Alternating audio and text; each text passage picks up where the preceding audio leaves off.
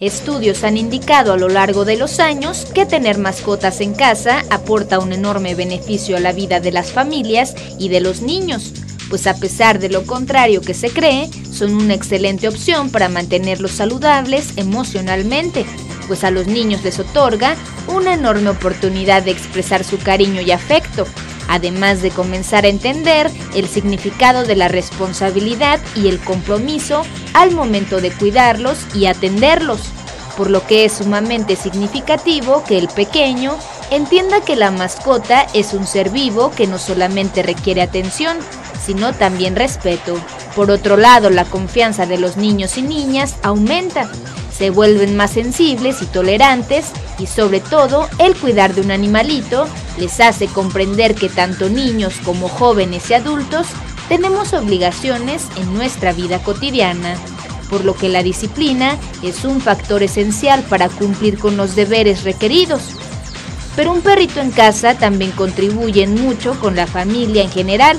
pues auxilia en la comunicación y favorece enormemente en la convivencia, creando y fortaleciendo los lazos de fraternidad y desarrollando más pasatiempos para hacer todos en casa.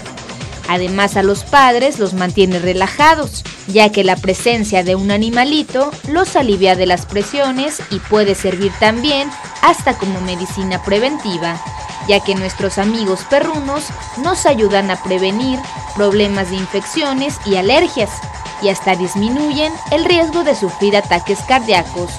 Cabe mencionar que también son un gran soporte para mujeres embarazadas o personas de la tercera edad,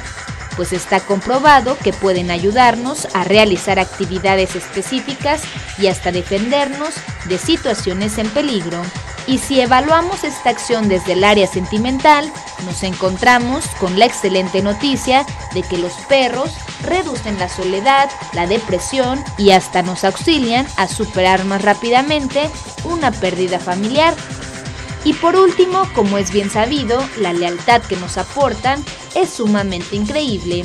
Estas son solo algunas de las razones por las que se puede considerar tener una mascota en casa. Y si te animas pronto a hacerlo, recuerda también tomar en cuenta el espacio, tu disponibilidad de tiempo y hasta tu economía. Sabiendo esto y si tienes la gran oportunidad, adelante. Puedes adoptar un peludo amigo que sin duda te acompañará en las buenas y en las malas en este gran camino de tu vida.